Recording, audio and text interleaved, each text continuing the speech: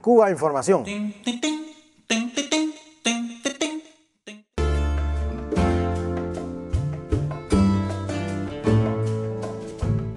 Simón Henshaw, jefe de la misión de la Embajada de Estados Unidos en Honduras, tiene una larga trayectoria como agente de la CIA y en el año 2002 fue representante yanqui ante la Comisión de Derechos Humanos de la ONU, lugar desde donde atacó a Cuba en forma permanente.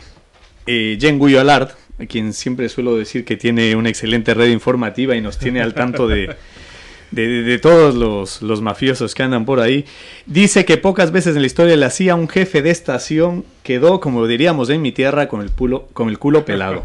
Quedó desnudado ante una reciente mm, desclasificación de documentos, Lázaro. Sí, excelente este trabajo de Jean Guy Alar, periodista, investigador, eh, respetado donde eh, desnuda todos los entresijos, eh, todos, los entretelones y el trabajo de la CIA eh, en el caso de Honduras. Una prueba más de lo que es el imperialismo, una prueba más de la falsedad, el cinismo y la hipocresía del imperio y de sus socios, sus lacayos, con los acontecimientos que tienen lugar en, el mundo y, sobre, y particularmente en esta, en esta región eh, del mundo, Centroamérica, el Caribe, Latinoamérica, en fin.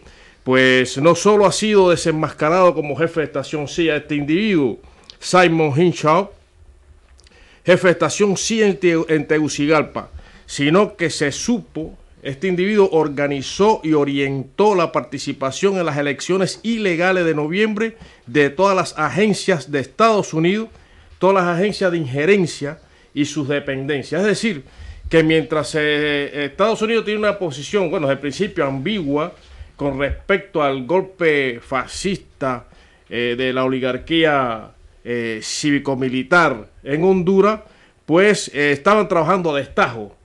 O sea, la CIA y otras agencias de inteligencia, pues estaban conspirando contra el presidente José Manuel Zelaya. Y aquí hay un dato que, aporta Jean Guialar, que este Hinshaw eh, trabajó con Charles Shapiro, que era eh, jefe del Buró Cuba, del Departamento de Estado de los Estados Unidos, y es un personaje, fíjate qué personaje este, también eh, asociado a la CIA, que fue asesor militar de la Embajada de Estados Unidos en Chile cuando Pinochet derrocó mediante golpe de Estado a Salvador Allende. Fíjate de lo que estamos hablando.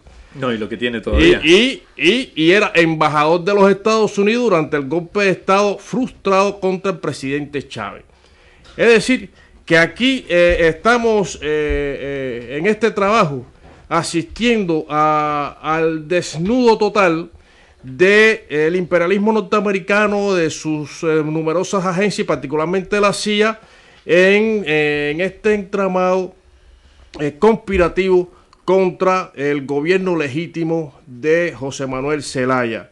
Aquí nos expresa también que este Simon eh, Henshaw eh, trabajó junto a, a Sarmiento de Poblete, nada más y nada menos que el brazo derecho de la congresista mafiosa de Miami, Iliana Ross Lettinen, que hoy está entre las grandes y acérrimas admiradoras del golpista Roberto Micheletti.